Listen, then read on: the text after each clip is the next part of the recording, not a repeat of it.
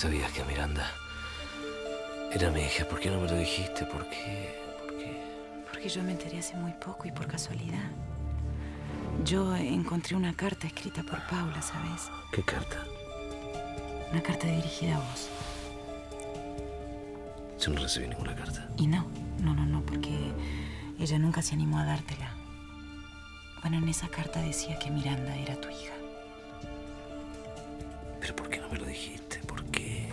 Paula me lo prohibió terminantemente. Ella tenía mucho miedo de la reacción que podía tener Miranda y, y no se equivocó, mi amor. Ah, pobrecita Miranda, por Dios, pobrecita. La entiendo perfectamente. Lo que más me duele en este momento es que me está odiando. No, no, no digas una cosa así. ¿Cómo no? Miranda es una chica inteligente, va a saber separar las cosas. ¿Qué tiene que ver? Que ella se enteró al mismo no, tiempo que No, me lo va a vos. perdonar. Pero sí, deja de darle vueltas a todo este asunto. Por favor, lo único que vas a conseguir es tener más dolores de cabeza. ¿Eh? Tengo que seguir adelante como sea. Tengo que seguir adelante, tengo que luchar. Eh, Aunque arriesgue mi vida, tengo que seguir luchando. ¿Y qué pensás hacer? Me voy a operar.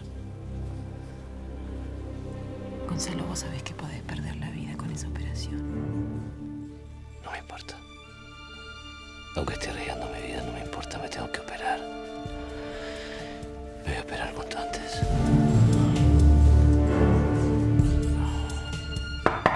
María, abrí, soy yo. ¿Qué pasa, Diego? ¿No sabes lo que pasó en la casa de Gonzalo? ¿Qué? Se estaba casando Paula y Agustín. Estaba todo lindo, todo bárbaro hasta que entró Miranda y paró todo. ¿Por qué? No sé, se puso a gritar diciendo que no podía ser, que le había mentido, que el verdadero padre era Gonzalo. ¿Cómo? Sí, se armó flor de despelote. Hasta el cura suspendió la ceremonia.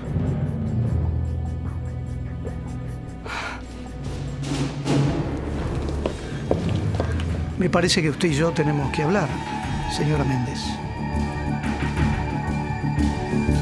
Luna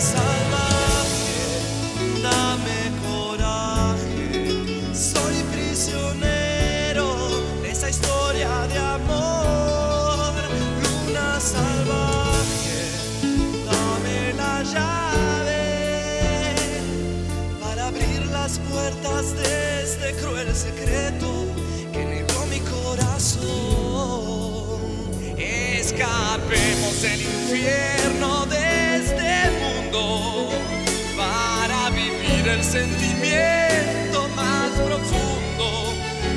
Una salvaje sobre el paisaje. Sos el retrato de este viaje sin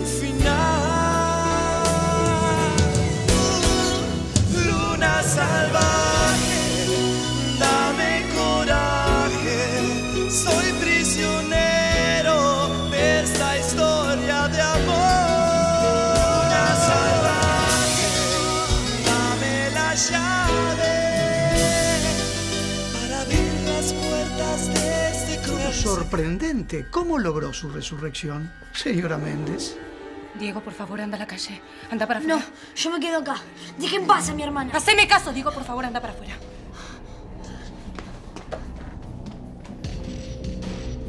¿Cómo hizo para salir de la cárcel? Usted tendría que estar pagando por todos sus crímenes. Ya ve, la justicia me absolvió de culpa y cargo. Soy tan inocente como un recién nacido. Usted es un asesino. Es un asesino igual que todos los empleados de su clínica. La justicia no piensa lo mismo. ¿Qué hizo con mi hijo, Pesci? ¡Contésteme! ¿Qué hizo con mi hijo? ¿Es el que está criando Leticia Flores?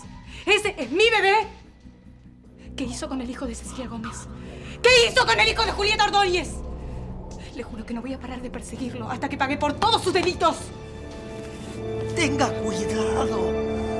Mucho cuidado. Porque no es ningún delito matar a quien ya está muerto.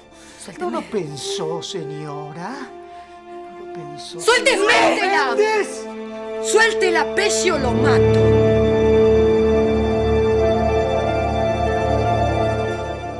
Adelante, inspector. Por aquí, por favor, ¿eh? Permiso. Atienda. ¿Alguna novedad, inspector Marzón? Necesito hablar con usted. Quiero saber cuánto tiempo trabajó Cecilia Gómez en la casa. Ni una semana. ¿Por qué me lo pregunta? ¿Por qué le echó, señora Leticia? ¿Puede responder eso? Sí, claro, por supuesto. Porque era una inútil. Por eso le eché. Ahora, ¿también le tengo que pedir permiso a usted para echar al personal de servicio de mi casa? Es extraño lo que ocurre con su personal de servicio. Primero toma a Juan como chofer y aparece muerto en el jardín. Toma a Cecilia Gómez como mucama y desaparece. Precisamente el hermano vino a radicar la denuncia. Así es la vida, Marzoa. ¿Qué quiere que le diga? Sin contar el extraño suicidio de María Méndez, que también trabajó en la casa. Marzoa, ¿por qué no se deja de hablar y se dedica a investigar quién es el que está detrás de todo esto? ¿A usted le parece que a mí me hace gracia descubrir cadáveres en el jardín de mi casa o que yo esté involucrada en un crimen? No. Y ahora sí, discúlpeme, no tengo más tiempo para usted. Permiso.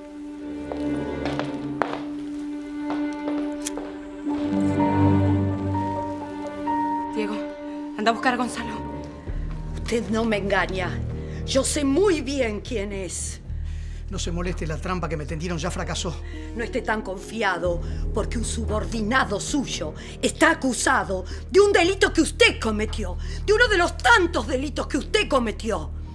Si se meten conmigo van a perder. Dígame, ¿dónde está mi bebé? ¿Dónde está mi hijo? No insistas, María, no te va a contestar. Pero no te preocupes, porque la verdad está muy cerca.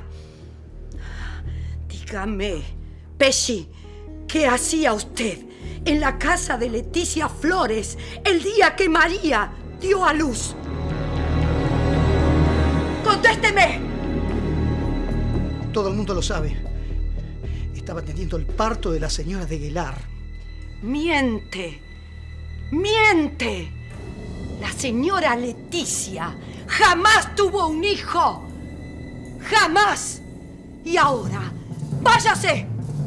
Bajacê!